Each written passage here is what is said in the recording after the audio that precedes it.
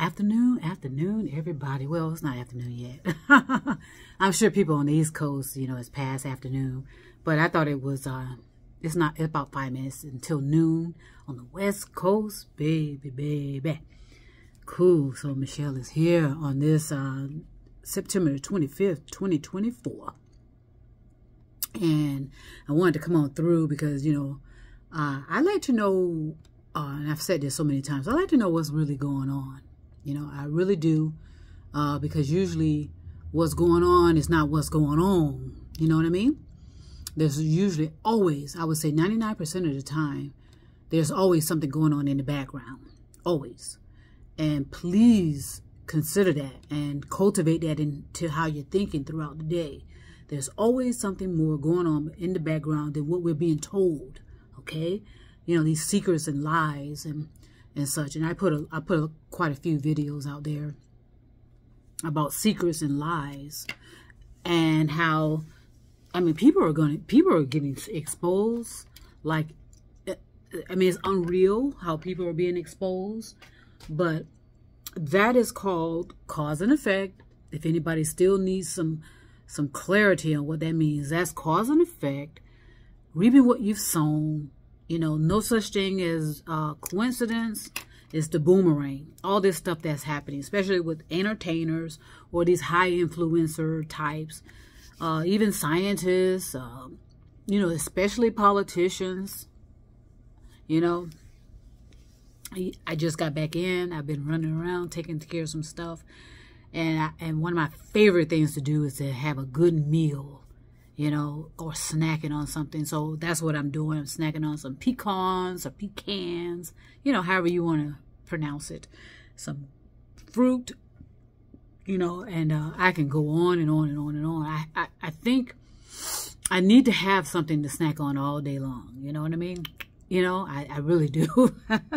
Otherwise, it, you know, I get a little whatever. We all have our little weirdness about ourselves, but nobody wants to admit it. You know, a lot of people want to admit won't admit that they have uh, some awkwardness. You know, I me, but that's fine. You don't have to admit it to me. As long as you're admitting things to yourself and being honest with yourself, that's where it all starts anyway. So I told you, you know, several videos, there are going to be people just getting exposed all over the place. The veils are lifting. You understand? The curtains are being opened people are being exposed and there's a lot of complicity out there. Don't be don't be delusional about that and and the people that are involved in this complicit behaviors and actions you know you're almost just as guilty because you know you, you know you see somebody else doing it or whatever they're doing and you're in there doing the same thing but yet you think that you can kind of snake your way out of that. I mean that's kind of childish and immature. And there's a lot of that going on when it comes to people's thinking modes. There's a lot of immaturity and childishness about behaviors and actions. So there's a lot of complicity involved. There's a lot of, um, you know, it's just pure shadiness and de and uh, deception, you know, with people and uh, how people, you know, horse these people up as uh, icons, you know, these entertainer icons or these influencer icons or these political icons. We have all that going on.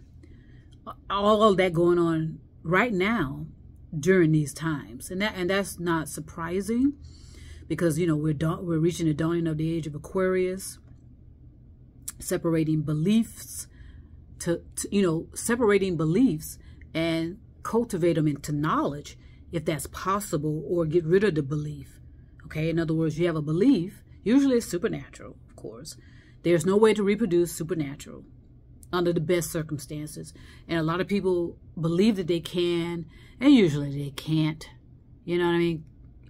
The, to be to be um, as powerful as you think you are, and this is not to be hurtful, with energy, that requires a lot of energy. And it, and it can also turn on you when you are starting to mess around with it. It's just like playing around with electricity. Who does that? Or who put, you know, or uh, uh, lightning strikes. Has anyone, I mean, I can guarantee you, if you talk to people that have been struck by lightning, they will tell you, okay, I don't want to keep dealing with that all the time. That's that energy I'm talking about that people keep wanting to tap into, or to have electrical shock. I mean, does anyone enjoy being electrically shocked? I doubt it. You know what I mean? So that's equivalent to what you're doing when you're kind of messing around with the energy, but it affects your consciousness and your psyche, and that causes, you know, some detrimental damage to yourself. And so it causes you to be delusional, hallucinating, and properly thinking is the main thing. And ruminating about, you know, uh, irrelevancy. You know, I wish certain people that I know uh, knew how fabulous they are. They are fabulous. I get so excited, you know, when I think about them. You know, uh, that you know they're fabulous. They look they look fantastic. You know, they, I mean, gosh, I'm like, wow, the beauty especially the beauty in their eyes. It's just, um, it's just amazing uh, how fabulous people are. And some I've told them, I told them, you're fabulous. But, you know, for some reason we don't, it's just weird how we, um, how we uh, claim that we love ourselves. But there's always something going on there. And I think it's, you know, a lot of people don't want to feel like they're, uh, uh, you know, I mean, being modest is, is definitely you know, the prerequisite to being balanced. You know, just be moderate. But I'm, I'm telling you, there are some that is just fabulous. And I told them. I've told them. And I feel good that I've told it. And, you know, I don't care when I've told them that. It still exists today for me. If I say you're fabulous, you're fabulous, honey. Trust me. Ha! So anyway, but a lot of things are being exposed. That is called, the, you know, the separation of the wheat from the chaff with the uh, non-religious con connotations. And I told you, uh, I, I, remember telling you that someone was complaining on uh, one of the um, places I was uh, having a conversation with. They said, well, why do you need to keep philosophizing everything? Well, you want to make it timeless. Okay, the truth is timeless. The lies you always have to be kind of snaking around with, you know, the lies and, and, and, and especially, you know, certain type of secrets. You know, if you have secrets of someone that's, you know, that's a bonding friendship. That's different. But I'm talking about these secrets where they're devastating, where they can cause, cause catastrophic financial especially. And the thing is about all of that, you can only hold that back for so long. And it's going to collapse and explode, literally, figuratively, and metaphorically. There's not, you know, because it's energy. You can only hold back energy for so long until it's just going to be uh, debilitating, where you know you're going to be paralyzed, literally, figuratively, and metaphorically, in in a way that you are going to be stuck there. You're not going to be able to do a goddamn thing. So, is this amazing that a lot of people think they're so clever and think they're so so intelligent, think they have this genius mind? It's all a bunch of smoke and mirrors, and it's all it's usually these so-called hierarchical types you know the ones that are the so-called the quote unquote the brains. You know what i mean? And if they only knew if they only knew what they were tapping into whether they are lodging it inside your brain or indoctrinating you which is more more common you know because you know you can, all of us can be easily indoctrinated that's why you just have to always stay grounded and say okay what is really going on here? You know, what do I hear? What do I see? What do I taste? You know, you have to you have to take it through there. You have to go through those series of events until they become habits. And I put out a video yesterday that says, you know, you're sensing, you're sensing, you know, what you see, hear, taste, smell, feel, are actually a one, you know, it's a one component of those many sensing inside. And that's why you need to kind of bring them all together as one. They're one, but we we like to frag, you know, break up stuff in, into pieces, and that's fine. That's how you evolve anyway. You know, break things off in pieces. But we're doing it for certain things that are uh, causing more harm than good. You know, we are supposed to put the pieces together. You know, and then, but once you're thinking clearly and effectively for yourself, you'll say, "Wait a second, let's bring," you know, and then you start filling in the filling in the missing pieces you know, putting puzzles together. I think that's why people like, you know, doing that. That game of putting puzzles together. I know some people, I mean, they could spend all day doing that. And that's okay. It all depends on depends on why you're spending all day on it. When you need your dishes washed, you need to wash your clothes, you need to uh, clean your house. You know what I mean? That's the same thing about video games. I understand the lure. I understand how how uh, fantastic that can be because a lot of people that are in the video games are usually vision, visionary types anyway. They get really turned on, and some in a deviant fashion, to you know all this uh, stimulus of the video games because you know I mean it's so realistic to them, and that's how a lot of young people can get themselves indoctrinated because they haven't properly developed their consciousness to handle that kind of stuff. And it's very, very dangerous. But no one's listening to that about the effects of video games. No one's saying to eliminate video games. Okay, all I'm saying is your consciousness has to be developed before you partake in that type of activity. That's why we have incel communities or these these dark anonymous, uh, what do they call them, dark web, dark web uh, personas, personalities, whatever you want to call them. Sociopaths, psychopaths, narcissists, clerics, you know. All of that is due to under, underdevelopment, being underdevelopment or undevelopment. You can say, but it's but it's actually underdeveloped. You just hadn't developed properly, and that's the and that's um that's better than saying that I'm a failure. Even though you can't, you know, okay, if you say I'm a failure, okay, of course that I mean, gosh, that sounds that sounds very painful to say that. You can say I've made some failures. I've made some mistakes, but you you the you is not a failure. Okay? Otherwise, why would you why were you created? Okay? So just think about that. So yes, the veil is lifting. People are coming, people are uh, being exposed all over the place. It's only the beginning, and this explosion is going to take take place not only with individuals, it's going to take place with our climate, literally, figuratively, and metaphorically, because of the complacency, complacency, and the lying about what really is going on with this planet by so-called wannabe uh, scientists, engineers, you know, leadership, you know. Um, you know, when I say leadership, it can be whether it's uh, lobbyists, advisors, politicians, uh, these so-called million dollar uh, babies. How about that? No, but these million dollar entrepreneurs, billionaires, innovators, all that. You know, um, they've um, um, are causing and have caused some devastation to the descendants that must remain, that will remain and have to pick up the pieces. And, you know, the climate is going to be the, the main thing. I think, you know, in my opinion, the climate is what's going to really, you know, the the effects of the climate, in my opinion, is really is the is the one factor that's going to really, I think, open eyes. You know, clearly and effectively, it's going to open eyes instead of having people, you know, walking around, you know, with all these masks and, and these false personas, it's going to open up some eyes and it's going to be cause some devastation for people because a lot of people are going to be stuck here, stuck there, and nobody's going to even know they're there. Some people are hiding on the bunkers. Some people are hiding in mountains. Some people are hiding here. Some people are hiding there. And maybe a handful of people know that they're there. But Mother Nature knows where everyone is.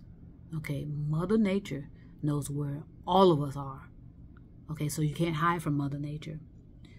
So, so yeah, so a lot is going on. A lot will continue to go on. It's going to get even more, um, you know, it's going to be even more uh, devastating, um, you know, with these personalities and these personas, you know, um, you know, not realizing consequences but don't let the complicit, the ones that are involved, you know, in a complicit fact, uh, uh, factor, be off the hook. You, you know, you know, complicit. Let's look this up again. Complicity. Let's let's see what I, because I, I, I talked about it so many times. It says involvement as an accomplice in a questionable act or crime. Okay? The state of being an accomplice, participating, participation in guilt. Go to the dictionary. Okay? Know, it's a wrongful act and you knew it was wrongful. Okay, it's one thing to not know it was wrongful, but you knew, you knew it was wrongful. And you see, you see, you see the collapse of your so-called leader or your so-called icon. And you don't think you're going to get hurt. Anytime there's a collapse, there's always going to be collateral damage. Okay, always. Okay, because because our hierarchical. For, but for those of us that are righteous and doing the best that we can to understand what's really going on, we're going to be observers. Unfortunately, we're not going to be able to make too much of an impact for a large majority of people because they don't they don't want to take accountability for what they've done anyway.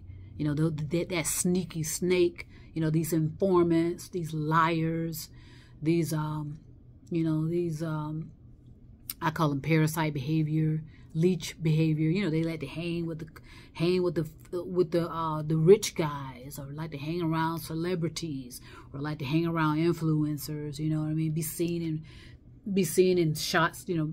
Uh, in selfies with these entertainers and blah blah blah blah blah, and and it, and it allows their delusion and fantasies and imagination to go even more extreme and you know and fanatical you know, instead of, you know, in other words, they're floating away, honey. And I'm telling you, at some point, some people are going to be so high up in their delusion and and, and um, hallucination, you're not going to be able to bring them back down to earth. And sadly, a lot of them are just going to be creating so much delusion in their thinking that, you know, they're going to, you know, where they're not thinking. They're kind of rolling back. They think they're going forward. No, they're rolling back, rolling back and they're going to get to a you know, because like I said, with artificial intelligence, if you're thinking for yourself, artificial intelligence can be fantastic, actually. But how many people are thinking for themselves, right?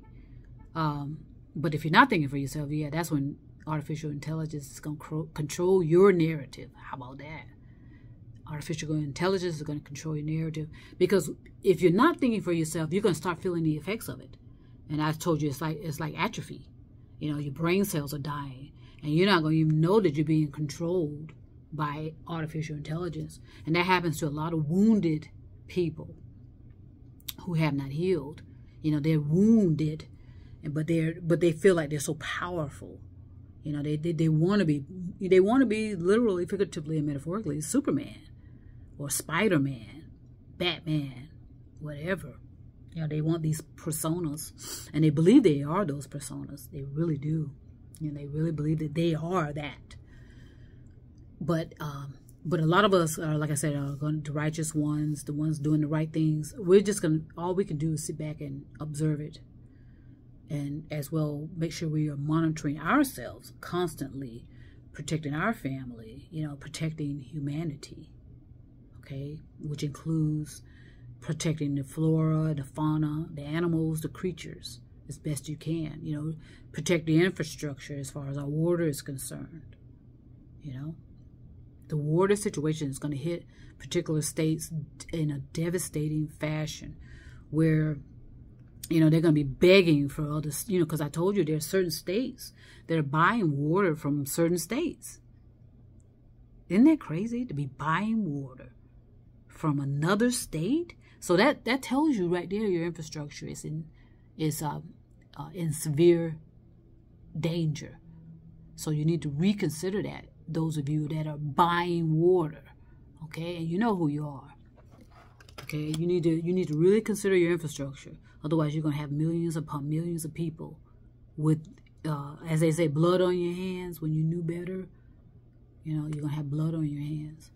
Okay.